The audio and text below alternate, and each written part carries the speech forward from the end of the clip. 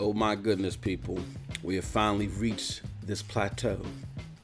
The gaming community as a whole has become toxic.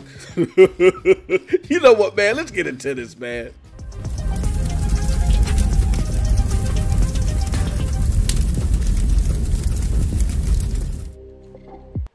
What's up, peoples? What's up, peoples? What's up, peoples? It's your boy MM2K back again with another one. Can you do me a favor? Hit that like button. Hit that subscribe button. Rock those bells for notifications, please, so you know when your boy's dropping these doses. I appreciate all of y'all straight up because you know what? You know the deal. I'm not too proud to ask. All right. So I've had the, the, the, the wonderful occurrence this morning of waking up to some tweets. All right. And these tweets, again, as we've seen in the last year or several months or whatever, follow this trend of wanting to call out what is quote unquote toxic in the community. All right. And I just thought it, and just so then I looked at what these people were talking to or trying to get a better understanding of what they may have been referring to. So I hopped on their pages. And my oh my, the stuff that I saw, and I'm like, hold on what's going on? I don't. So okay, let me let me preface it with this. Okay, people say that the community, the gaming community, has become very toxic. Um, and when they say that, they're talking about social media, out on website comment sections, discuss whatever you know, wherever they, they, they may lay a comment. They say gamers can't enjoy what they like and comment about it without being harassed. And they also say that too many entities excuse me, out here in social media are influencing and festering this toxic culture. And they want it to stop. Here's my thoughts. I couldn't agree more. And here's what I mean. There are over 250 million console gamers out here, and they're telling how many PC gamers. When we talk about these quote unquote toxic communities, we have about maybe 200,000 in the specific gaming communities that are being referenced. There is a whole slew of other gamers who do not interact with people within this this these communities that are being referenced to. As I like to call them the cut up gossip crowd. Other people call them the crumb side. But there are a slew of other gamers out there in the tones of millions that do not interact with this crowd. And guess what? even though they choose not to do so, you choose to stay here. Toxic bomb thrower. You like to laugh and comment on posts that are in favor of your favorite console.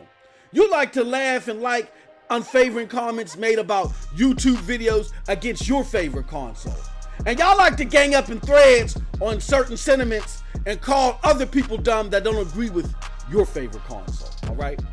These same crybabies that I just described when they get outnumbered, when they get roasted, when they get caught off for they slide dissing, all of a sudden they want to run home and tug at their mama's pantaloons for support. you know what? Look, here's the deal.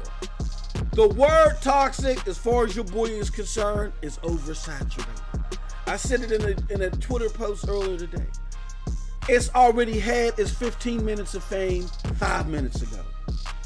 I think the word hypocrite is better or better comes to mind.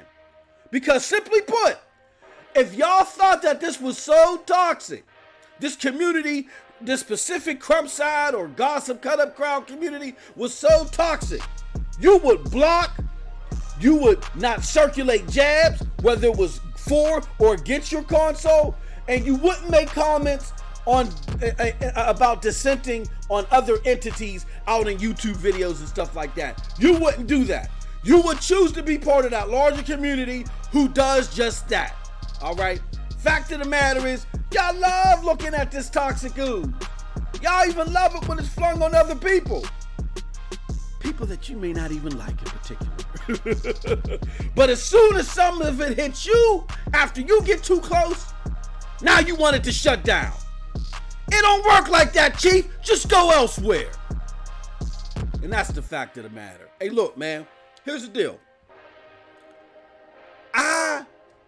Years ago, I've always been a gamer. I've been a gamer for 30 plus years, right? And I've always been, you know, very interested in the culture of gaming. for years upon years when social media started to, you know, get its, its kick and pull on the internet, I didn't find out about this community until like a year and a half ago.